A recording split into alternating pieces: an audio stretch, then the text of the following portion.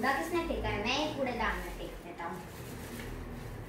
ये घोड़े की और बंदूकों की आवाज़ कैसे आ रही है? अरे, ये तो अंग्रेज़ है। चलो पूछते हैं कि ये यहाँ क्यों आए? तुम लोग यहाँ क्यों आए हो? यहाँ तुम ना तो राज कर सकते हो, ना ही यहाँ का सोना ले जा सकते हो।